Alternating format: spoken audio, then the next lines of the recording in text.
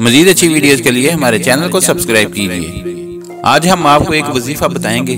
جس کو آپ روزانہ کا معمول بنا لیں۔ تو دولت آپ کے قدم چومے گی۔ یہ عمل صرف خواتین کے لیے ہے۔ اگر آپ چاہتی ہیں کہ شوہر کے پاس دولت کی پروانی ہو جس سے آپ کے گھر کے مسائل میں کمی ہو جائے آپ رزق حلال سے مالا مال ہو جائیں تو اس کا ہم آپ کو ایک وظیفہ بتانے والے ہیں۔ جس سے آپ کو ایسی غیبی مدد ملے گی کہ آپ حیران و پریشان اور آپ کی عقل دنگ رہ جائے گی۔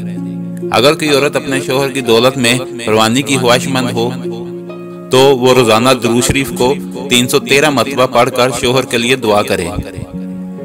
درود پاک کو پڑھنے کے لیے آپ نے نماز کی پابندی کا خیال رکھنا ہے اور جو شوہر کما کر لائے، اسے نیک نیتی کے ساتھ مستحق لوگوں پر بھی خرچ کرنا ہے۔ اس سے اللہ پاک آپ کے رزق میں اضافہ عطا فرمائے گا۔ اور آپ خوشحال زندگی گزارنا شروع کر دیں گے۔ اگر آپ کو ہماری ویڈیو اچھی لگی ہے تو اس کو لائک اور شیئر کریں اور کمنٹس میں اپنی رائے کا اظہار ضرور کیجیے۔ شکریہ۔